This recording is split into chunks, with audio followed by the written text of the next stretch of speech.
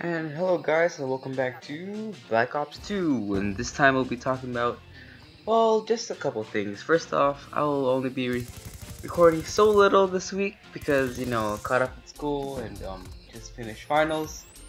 I'm just gonna relax for a little bit. Um, in the recent news will be practically this lucky spawn. Would you look at that spawn? What is wrong with this game?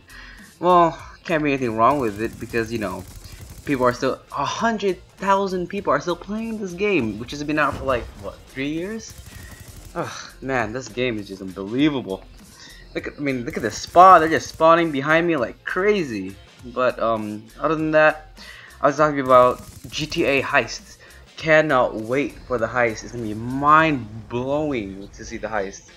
I'll I'll be sure to get the first couple footage of that as soon as possible. And man, I still can't believe how much this the spawns are in this game. That look at that ownage.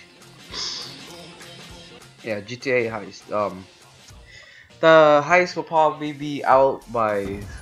They say the mid early 2015, which probably February. I'm really hoping for that. And what else? Payday 2. Not really enjoying that game very much. Not my very best interest. Especially for when like I don't know, the bunch of work. You will level up so little in that game. It takes like what, like five heists to get leveled up, or maybe I'm just a noob. What do I know? But anyways, guys, man, really, this is some dull gameplay. Wow.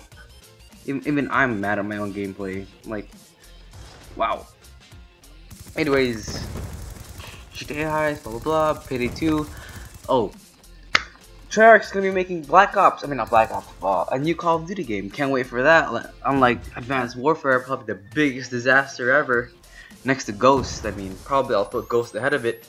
Don't hate. I'm just just my opinion. I think Ghost might be a little bit better than Advanced Warfare, just a little bit. But other than that, guys, um, I think that's gonna be it of this gameplay. Hopefully you enjoyed it and leave a like, subscribe, share, whatever you like. And sorry for this very short video. I am so sorry, and um, hopefully you guys have a good week. Ho hopefully I will too, and yeah, have a nice day, guys.